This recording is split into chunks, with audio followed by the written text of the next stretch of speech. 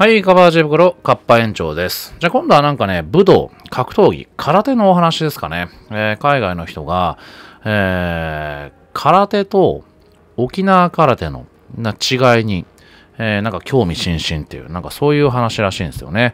えーと、なんか最初の人がね、沖縄空手と日本の空手、えー銃の違い、えーそういう話を始めてるんですね。これまあなんか動画があるらしいんで、えー興味ある人は見てみてもいいと思います。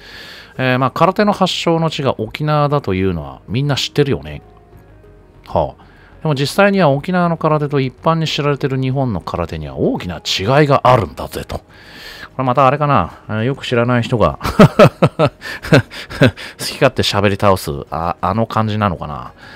えー今日僕が沖縄に住んでる間に気づいた沖縄空手と他の日本の空手の違いを10個紹介するぜみたいな。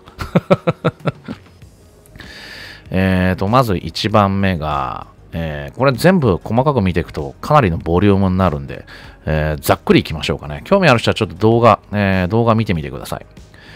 で、まず、え最初が立ち方？あ立った形、え沖縄の立ち方の方が他のものよりも腰が高い。腰高になっている。えその理由はシンプルで沖縄空手の目的が自己防衛にあるということ。えーわざわざ腰を落として構えるのが実用的じゃないからだ。はあ。えー腰を落とす方が強さとスタミナには有利だけど、これは高い立ち位置を取る沖縄空手の目標ではない。えー簡単に素早く動く動きが取れるってことの方が重要だからだ。えー沖縄空手の始祖の動きを見ると、彼の立ち位置は弟子よりもかなり高いことがわかる。えー世界の空手からすると、うんと高いことは確かだよ。なんか見た目で適当になんかそういうこと言ってるだけなのかな、これ。で、次、2番目。なぜ VS どうやって？え、なんかもう2番目からだんだん怪しくなってきましたけどね。えー次はどうやってよりもなぜを重視すること？日本の空手はどうやって正しい型を取るかということに重点を置いている。でも沖縄空手ではなぜそうするのかという考えることに、えー重きを置いている。はあ。えー沖縄空手では意味って言葉がよく使われる。沖縄空手では分解を理解する方が、テクニカルなスペックを学ぶより大切なんだ。ん？えー本土で空手が近代化するに従って、空手本来の意味が失われてしまったってこと。ああ、そういうことか。あなぜってことがわからないと、どうやるかってことに注目する方が簡単だ。まあ空手が自己防衛っていうより完璧な型を目指すものになっちゃう。えー剣道とか柔道みたいに、えー空手も空手道になったんだ。ああ、なるほどね。えーで、3番目が押す。これちょっとね、ボリュームあるんで、え3番目が押す。この挨拶、えー押し忍ぶの押す。えまあ、これは沖縄空手では聞かないと。で、4が、あスポーツじゃなく文化。あ沖縄空手はスポーツという位置づけじゃない。えーどちらかというと、ライフスタイル。で、え5番が、チンクチ。チンクチっていうのは本土の空手でいう決めのこと。決めっていうのは全神経と体を集中して技を決めるための力のためみたいなものだね。えーでも沖縄空手のチンクチは技をかけるときにためるんじゃなくてもう一段体を伸ばすみたいなうんぬん。で、6番が古武道。えー本土の空手はほとんど手だけ使うけど沖縄空手の道場では武器も備えているところがほとんど。へえーなぜかというと昔は空手と古武道は兄弟みたいな関係だったからだ。あ自分が武器の使い方知らなかったらあそれから身を守る方法もわからないだろう。で、えー7番目が補助運動。えー空手が上手くなりたかったらテクニックだけじゃなく体を作ることも大切だ。だから沖縄空手では体作りに重点を置いていると。で、8番が取り手。えー本土の空手では取り手って言われてるけど、えー沖縄空手ではトゥイデっていう、え手を使ってかける関節技のこと。えこれは沖縄空手の書き絵で見ることができるし、カンフーとかでも見た人もいるかも。ほう。で、9番目が、量よりも質。えー個別主義っていうのが沖縄空手で、集団での訓練が本土流。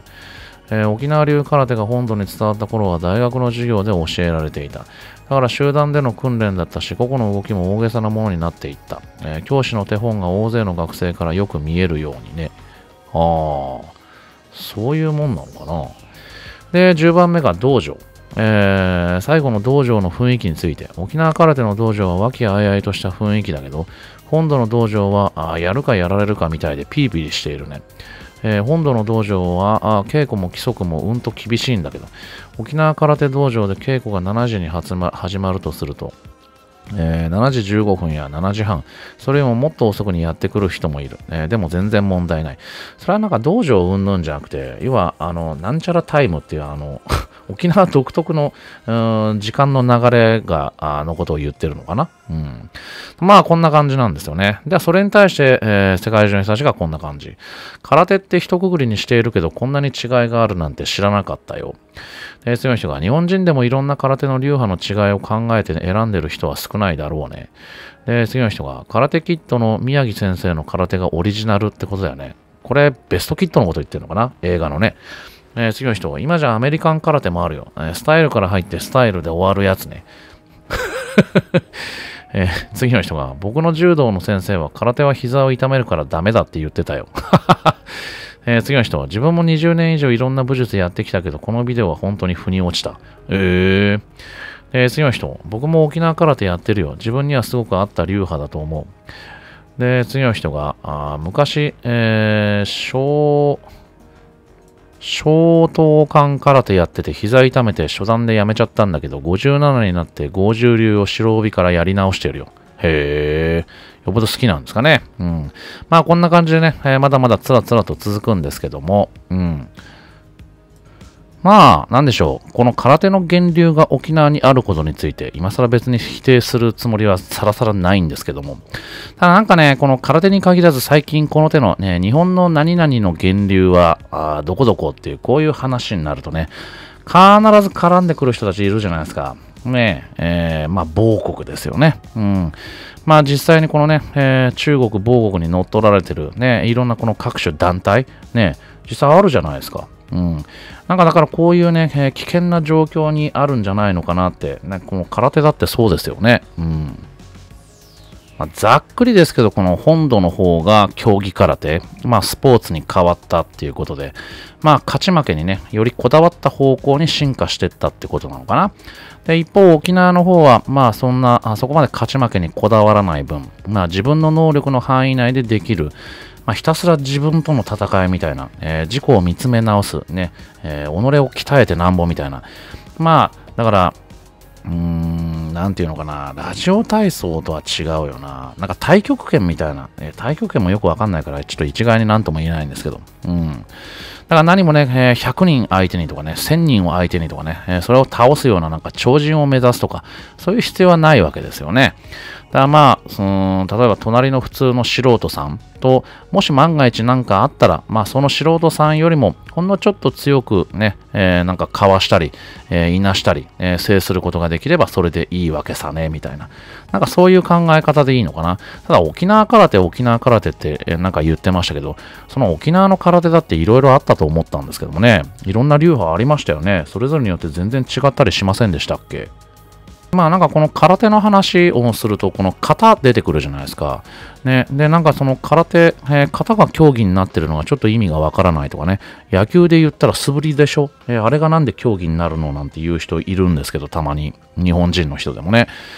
でもね、僕はそうは思わないですよね。ああの、空手の方って、例えば、あなんだろうな、他のスポーツ競技だと、まあ、フィギュアにおけるこのコンパルソリーみたいな、あで、言い方合ってたかなうん。だからまあ単なる練習とかじゃなくて、その競技のまあ基本にして奥義でもあるみたいなね。うん。まあ外しようがない、えー、要素だと思うんですよね。うん。で、なんか沖縄の空手ってハイキックないってあれは本当なんですかね？ずいぶん昔にちらっと聞いたことがあるだけで本当かどうかちょっとわからないんですけど。まあなんか確かその時聞いた話だと実践でね、あんな高く足上げて片足立ちになるのはリスクがあるだけだって。あまあ、蹴るのは基本腰から下だろうっていう、なんかそんな話だったんですけど、これ本当なんですかね？うん。まあ、なんか、この沖縄空手にもこのウチナータイムが適用されてて、ちょっとね、ほっこりしましたけどもね。